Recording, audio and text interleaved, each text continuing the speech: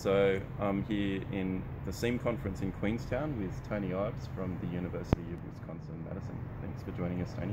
Yeah, you're welcome. So um, you've written a few papers in MEE over the last couple of years, Mhm. and I'd just like to talk about a couple of them. Of course. That's right. Yeah. So I guess the first one on the agenda is uh, a paper titled, I don't have the exact title. It was Go Ahead and Log Transform Your Count Data when testing significance of regression coefficients. Something like that. Yeah, yeah. Yeah, yeah. So I guess I was wondering where that, what, what the background to that paper was. Yeah, so the background was actually reviewers' comments. Um, I'd submitted a paper with a colleague. She'd done some really complicated um, LMMs that were spatial, um, really just looking for patterns. And we talked about doing spatial GLMMs, and it was going to be a pain in the butt. So, um, so we just did them on log transform data. And one of the reviewers said, "Well, could you justify that?" Um, so that kind of launched me off into, first of all, just doing the simpler case of GLMs and LMs. Um, and kind of finding some to my surprise that GLMs really had some problems with type 1 errors um, under very, very simple uh, conditions, very simple assumptions.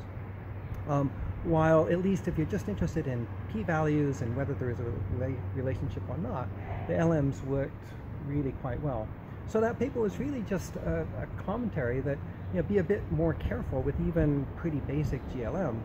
And also, um, if you if you're just interested in, in is there a relationship or not, is it positive, negative, you can kind of rely upon what people have been doing for 60, 70 years or whatever, um, some very smart people, transform data.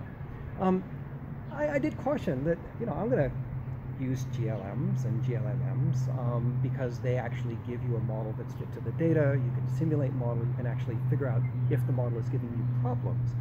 Um, but still, if that's not what you're really interested in, um, you can go ahead and use LMs. Um, typically, you suffer some loss of power, um, which sometimes is not really much of an issue anyway. Um, so it was more a kind of throwback to more traditional views that what people have been doing for 60 years isn't all wrong. Fair enough. Yeah, so then I read that paper and um, I wanted to write a response to it. yeah. Um, yeah, so I guess I guess part of the I guess one aspect of it was that, like as you say, when testing is there a relationship, it will work uh, quite well uh, in terms of type one error control. Um, I guess one reason was that um, uh, if you test if you got a mean variance relationship and you're testing the hypothesis all means are equal, that implies all variances are equal. Yeah. And so I guess I wanted to look at uh, situations where you applied where the null hypothesis wasn't all means equal and show that it doesn't always don't always pass the flying colours. So I wrote to you sort of saying that I was planning to do this and you said, Can I be a co-author? Yeah. Yeah.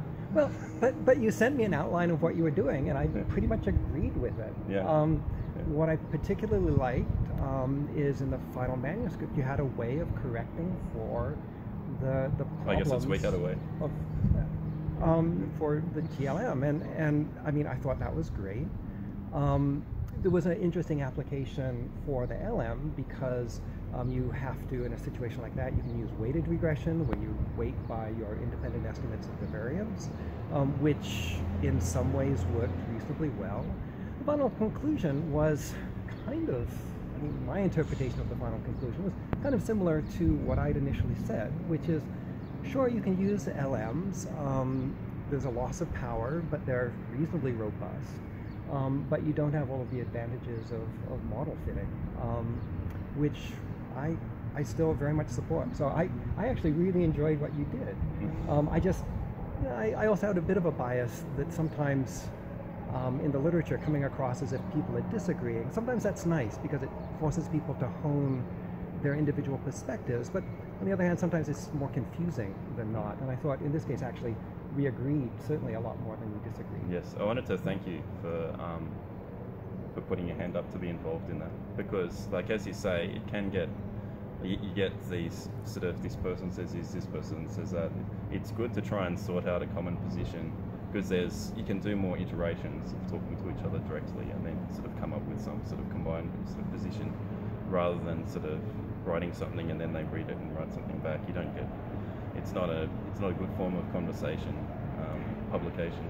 No, and, and, and actually, I, I should thank you because you were actually incredibly um, accommodating and understanding. So I, I really, it was a it was a very very good experience. It was it was it was good fun. Yeah. So I guess the next paper was um, about uh, trait modeling. Yeah.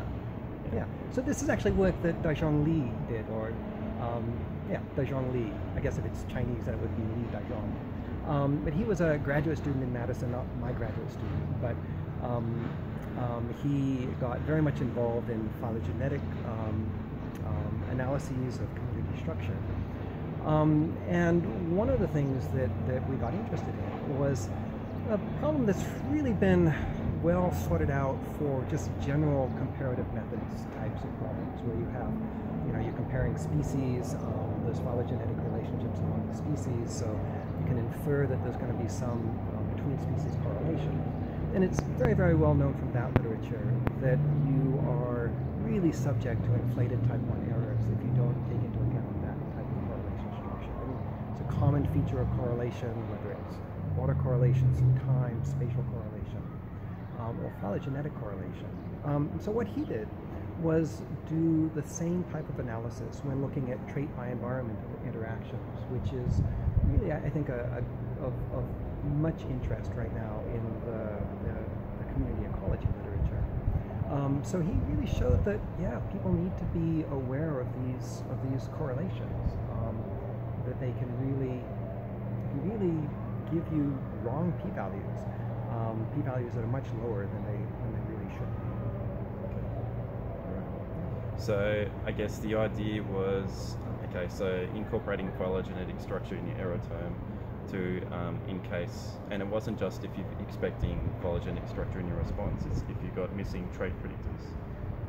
Yeah, so Um, so so the, the whole question about phylogenetic um, structure in data um, is a kind of interesting one.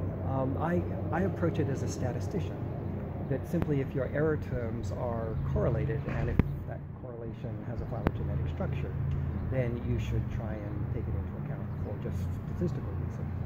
Of course, there's many, many people that are interested in the phylogenetic structure itself and infer evolutionary patterns, um, patterns of community assembly?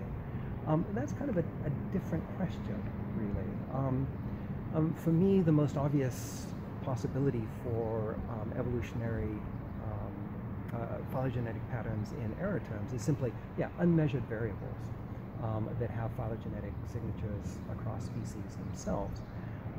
And they're not measured, so they give you these, these error terms which are correlated. Um, other people might view those phylogenetic correlations as actually uh, a, direct consequence of the evolutionary process. Um, from a statistical point of view, it doesn't really matter where they come from. Um, yeah, you should you should be aware of them. Okay, fair enough. So I guess uh, one aspect of that sort of model it was it was assuming all of the correlation across species was phylogenetic. The models used in that paper. Um, it was assuming that the errors could have a phylogenetic signal, Yeah. but then the actual extent of that signal was estimated Yes. from the data directly. Yeah, yeah, yeah. So basically, then the phylogeny becomes a hypothesis Mm. about possible correlation structure. Yeah. Um, I mean, just sh- structurally, pragmatically, making some kind of an assumption like that is necessary because you have to you have to have a fairly simple assumption about a correlation matrix, uh, the correlation among the, the error terms, um, because you can't estimate all of those correlations independently, simply because there's many too many of them if you have a lot of species. Yeah. So really, the phylogeny, from a statistical point of view, is just a hypothesis about what that correlation structure looks like. Okay. Um, I, you mentioned earlier um, that you could have other hypotheses um, that um, would give you correlation structure among species. Um, yeah. have, So like a latent variable model, for example. I've Yeah. spent a fair bit of time thinking about that sort of thing Yeah. and how to incorporate correlation that you estimate from the data. Yeah. And so I look at the model and I want to get I want to get other sources of correlation into it as well as the phylogenetic. yeah, no, no, and I, I, I think that's great. Um, because, yeah, from a statistical point of view, if those correlations exist, you should be aware of them. Yeah. And I guess until we fit those models, we don't know Exactly. whether or not it's there. exactly. Yeah. Yeah. Yeah. Thanks. Well, it's been a pleasure, Tony. Yeah. Thank Well, you. Thank you.